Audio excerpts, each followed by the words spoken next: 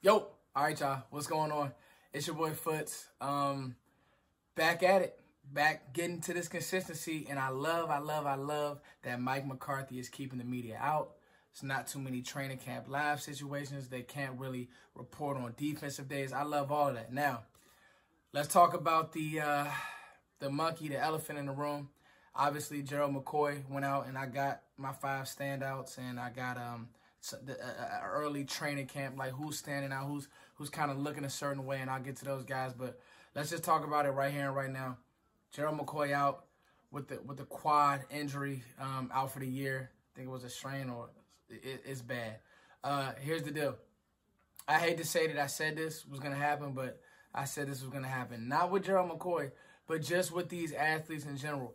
It's not the same when you're out training and making IG videos and, and doing all this stuff, it's not the same as you going through a real NFL practice where it's timed, where these coaches are are are are are, are, are speaking on, on tempo when when you're when you have bodies leaning on you. Like your body and your tendons and your your muscle mass has to get pretty much ready for that.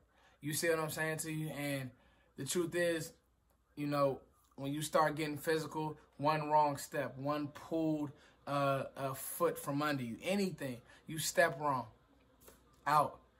And unfortunately, uh, a six-time Pro Bowler who we were depending on uh, is out for the year. However, you wanted Trysten Hill, you got him.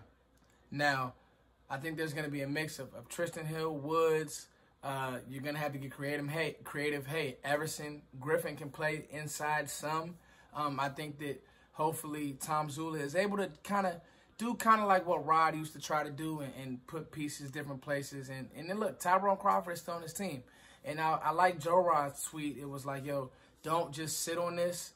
Maybe maybe try to go get another piece. But the fact is, you drafted Trysten Hill in the second round for a reason, Cowboys fans. Vach you told me Trysten Hill can ball. I want to see it. You know, Vach is my guy. I just did something with Vach uh, yesterday. Vach, Okoye, Law Nation, the homies. But Vach, I'm I'm I'm doing a I'm I'm holding you your your feet to the fire. It's time now.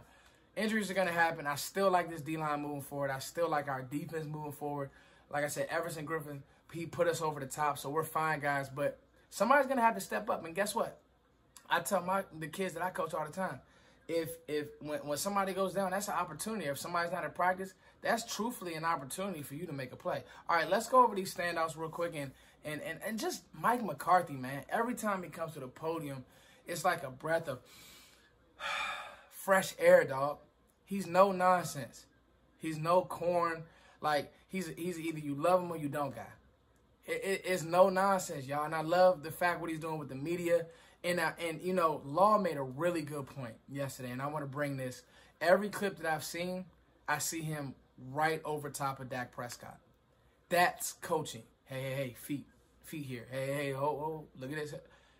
When you coach the best, you know what it's supposed to look like. You know what these quarterbacks are supposed to feel and, and this, that, and the third. So anyway, just just a breath of fresh air that is Mike McCarthy. You could even hear in Zeke's voice like, McCarthy's just it's no nonsense, and and you can see that he's just a football guy, man. And his his his resume speaks for itself. I don't think he's gonna come in here. You know, he got that big, that that that that, that burly look, like that, just that Wisconsin. Just I'm just we just gonna play football, man. We not I'm not gonna be cheesing from ear to ear. I'm not gonna be on joke time. You guys are gonna be held accountable. Um, and, and, they're still going out and getting pieces, even with the Everson Griffen. They're not just going to rely on their guys. If if somebody's not getting done, or if you if you're not meeting standards, then there's a chance you may get replaced. All right, here we go, guys. CeeDee Lamb, Anthony Brown, Aldon Smith, Tony Pollard, Zeke. Those are my five standouts. What I'm hearing about CeeDee Lamb is that he's just smooth. He's just smooth. He's just ready to go, um, and that's exciting. Um, I think that there's a real possibility that